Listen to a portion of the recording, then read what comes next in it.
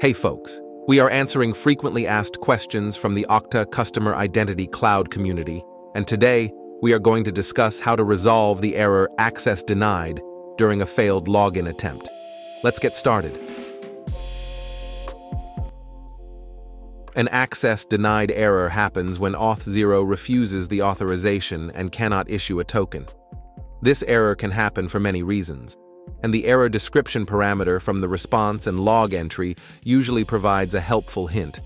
For example, the error description service not found indicates that the value of the audience parameter in the authorized request does not match any of the API identifiers registered with Auth0. This access denied error may also occur if a user denies access to the requested scopes during login. However, the most common source of these errors is in actions or rules.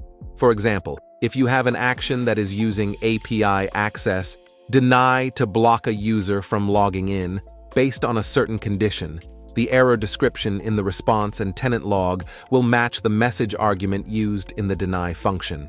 Additionally, any uncaught errors in rules or actions will also generate an access denied error. For example, this action is meant to retrieve an external user ID from an external API and will fail if the remote user comes back as undefined.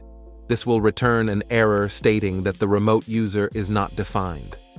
One additional note is that rules have an unauthorized error object that can also be used in the callback to prevent a login. This does not return an access denied error, but instead returns an unauthorized error. Today, we looked at how to resolve the error access denied during a failed login attempt.